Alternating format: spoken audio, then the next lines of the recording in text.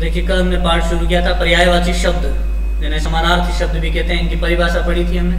कुछ पर्यायवाची पर्यायवाची शब्दों के बारे में जानकारी ली थी, उनके पर्यायवाची शब्द पढ़े थे। क्रियकारी के रूप में भी आपको कुछ पर्यायवाची शब्द नोटबुक में लिखने के लिए दिए थे। आज ये जो बचे हुए पर्यायवाची शब्द थे, जैसे आँख, भ्रमर, इंद्र, मनुष्य, इनके पर्यायवाची शब्दों को आप अपनी नोटबुक में लिखेंगे। इसके अलावा जैसे ईश्वर, राजा, कपड़ा, रात, कमल वन, गणेश, विष्णु और गंगा।